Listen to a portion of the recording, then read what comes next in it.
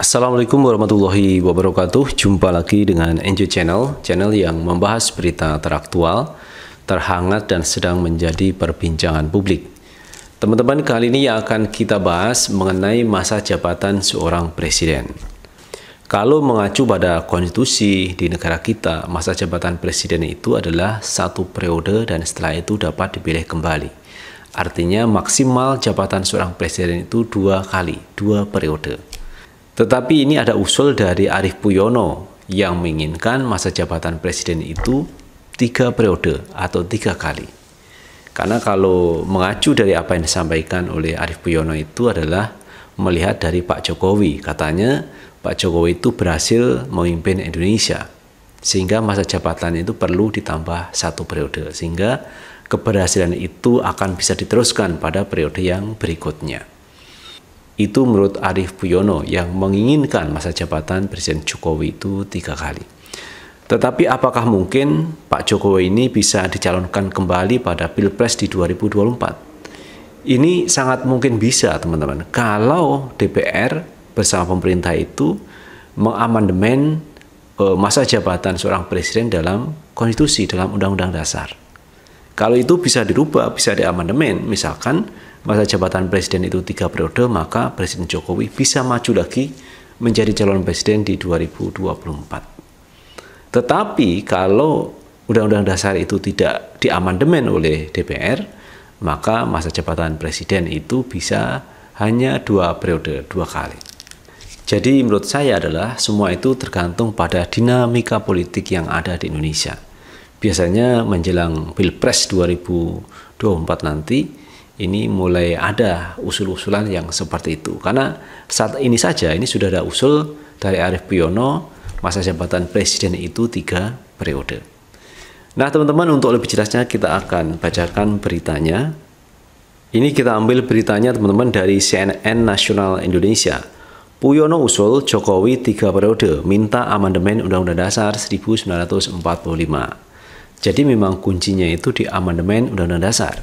Selama undang-undang dasar itu tidak diamandemen oleh DPR, tidak dirubah oleh DPR, maka masa jabatan seorang presiden adalah maksimal dua kali atau dua periode.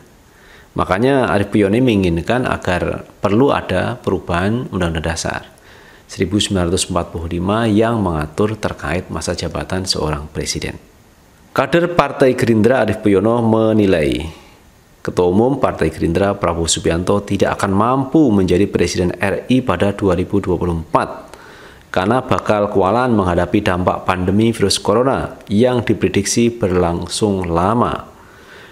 Dia lantas mengusulkan agar Undang Dasar 1945 diamandemen agar Jokowi bisa kembali maju menjadi calon presiden pada 2024 untuk periode ketiga. Kata Arif Puyono, bahwa Pak Prabowo tidak akan mampu menjadi presiden di 2024 karena kewalahan dalam menghadapi pandemi virus corona. Ini kata Arif Puyono teman-teman, bahwa Pak Prabowo tidak mampu menjadi presiden di 2024. Nggak mampu dia Prabowo jadi presiden dalam menghadapi keadaan seperti ini dan pasti kalau dia Prabowo maju lawan Jokowi, pasti dia Prabowo kalah kata Puyono saat berbincang dengan CNN Indonesia.com Rabu 17 Februari 2021. Nggak mampu katanya Pak Prabowo menjadi presiden menurut Arief Puyono. Dia menuturkan perubahan batas maksimal masa jabatan presiden dari maksimal dua menjadi tiga periode patut dipertimbangkan berkaca dari keberhasilan Jokowi selama menjabat sebagai presiden.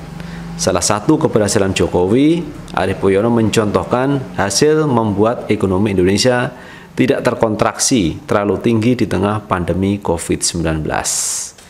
Jadi keberhasilan Jokowi dalam bidang ekonomi menurut Arief Puyono dengan adanya pandemi COVID-19 ini ekonomi Indonesia tidak terkontraksi terlalu tinggi.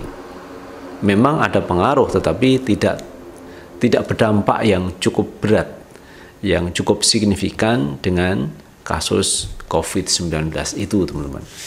Ini lagi-lagi menurut Arif Puyono karena saya melihat memang Arif Puyono ini pendukung dari Pak Jokowi. Ya sah-sah saja orang berpendapat seperti itu teman-teman. Tetapi yang kita lihat umumnya masa jabatan presiden itu dua periode. Jadi kalau sampai ditambah tiga periode, ini bisa jadi nanti bisa menjadi empat periode, empat kali. Kalau ini dilakukan perubahan Undang-Undang Dasar 1945 terkait masa jabatan seorang presiden. Ini menurut Arief Puyono perlu ada tambahan satu periode. Dua kader Partai Gerindra, yakni Prabowo Subianto dan Sandiaga Uno, menurutnya juga tidak mampu memimpin Indonesia di periode berikutnya. Puyono menjelaskan bahwa ketidakmampuan Prabowo menjadi Presiden RI pada 2024 mendatang juga terlihat dari hasil survei sejumlah lembaga sejauh ini. Elektabilitas Prabowo selalu berada di bawah Gubernur Jawa Tengah Ganjar Pranowo. Surveinya Prabowo kan cuma di bawah 20% di antara calon-calon lain dan selalu kalah lawan Ganjar, katanya. Pun demikian, dengan Sandi, menurut Puyono, faktor suku juga mempengaruhi sosok yang saat ini menjabat sebagai Menteri Pariwisata dan Ekonomi Kreatif. Itu sulit menang di Pilpres 2024 mendatang.